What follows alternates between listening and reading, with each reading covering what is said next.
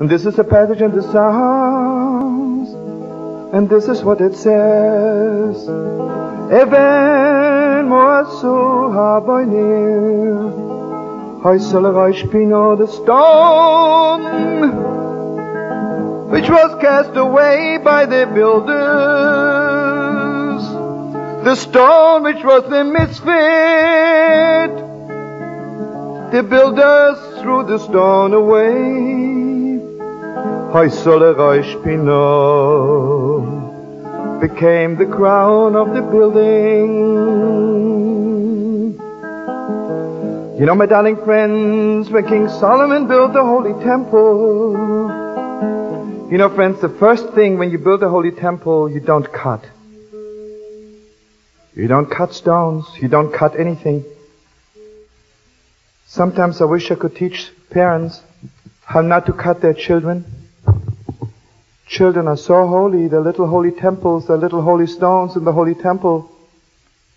You can't build a holy temple with cut stones. If you ever stand by the holy wall, friends, strangest sight in the world. One stone is big, one small, one has four corners, one has eight corners. But the great miracle is they all fit together.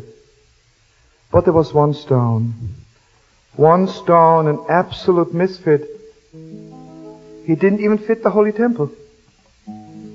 So the builders threw that stone away. But then they built the Holy of Holies. And the Holy of Holiest has a little roof. And there was an opening, strange kind of opening. And there was no stone which fit that opening. And suddenly the builders remembered the only stone which can be the crown of the building is that mis- this misfit, the castaway stone. And David HaMelech says, do you know why this is so? Mi'ez Hashem, oisozois, hiniflos beinenu, because it's God's world, because God is working wonders, because only a real misfit, someone who is cast away by the world, can be the crown of God's building. To you, my darling friends, I say this is so true. It is so true, it's so true.